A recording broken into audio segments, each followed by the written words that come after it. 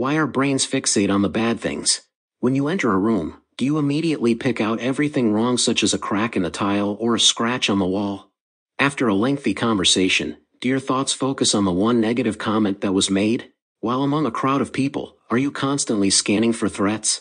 All these events have one phenomenon in common, negativity effect.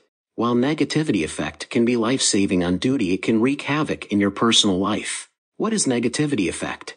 Negativity effect is the brain's tendency to be impacted more by negative events than positive ones. The brain registers, focuses, stores and recalls negative events much more readily than positive ones. Studies have shown that the brain's electrical activity increases when focusing on negative stimuli as compared to positive. Dr. Rick Hanson once said, the mind is like Velcro for negative experiences and Teflon for positive ones. The biological basis of negativity effect. Our brains have been hardwired through evolution to focus on the negative. Traced back to prehistoric days, primitive man had to be able to register threats to avoid danger and increase survival rates. Individuals who were more attuned to danger stayed alive longer and passed on their genes. Focusing on the bad developed as a way of our brains keeping us safe and it is still wired into our genetics today. Now I will tell you 7 ways how to overcome negativity effect in your personal life. 1. Write it down. The first step is spending time every day to focus on what is right in your life.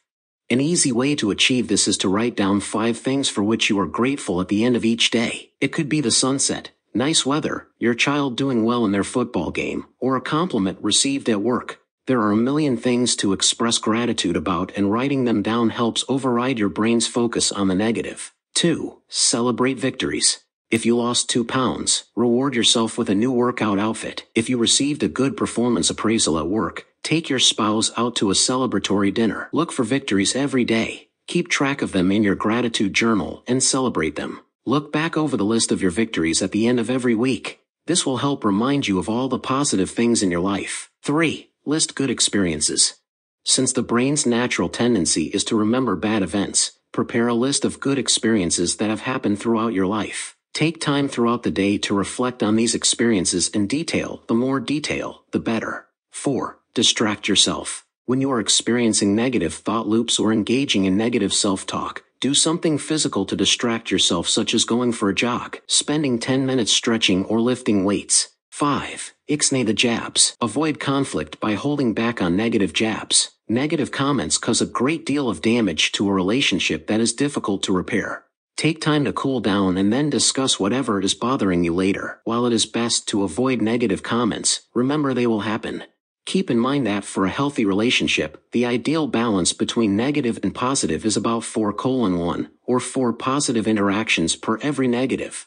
So next time a negative comment is about to slip out of your mouth, ask yourself if it is worth having to work four times as hard to repair it. 6. Breathe mindfully. Mindful breathing is another way to combat negativity effect. Something that works well is a breathing technique developed by performance coach Brendon Burchard. Sit in a quiet location and breathe in deeply, hold your breath for a few seconds, and then exhale. While you breathe out, say out loud release several times. 7. Avoid negative hot zones. Limit the amount of time you spend in negative hot zones. Often listening to the news or spending time on social media can create negative emotions. If this is an issue for you, it is best to limit your time in these areas. While negativity effect has a role in safety while on duty, it can wreak havoc in your personal life. To operate at peak performance on and off duty, you will need to learn to manage your brain's instinctive tendency toward negativity effect while off duty. A few simple steps can help modify our default settings while not at work and create a happier and healthier home life and a safer and more productive work life. I hope you enjoyed the video, and that this video will help you lead a better and happier life. If you liked the video, leave me a like and subscribe for more videos. Thank you for watching.